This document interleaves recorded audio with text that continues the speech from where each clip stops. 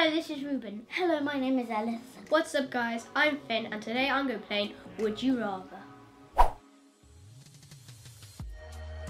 I'd rather play. I'd rather play a hero because they always win. A villain, because they always have the, the cool gadgets. I'd rather play a villain because I like being evil and from Lego Ninjago. I would rather eat two rotten tomatoes than having a cat food.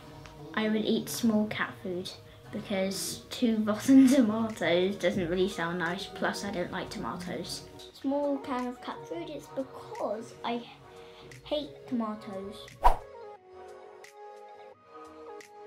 I would rather play video games, definitely, because they're so fun. Oh, I rather play video games because I like Minecraft and I'm good at it. Play video games because I like Minecraft and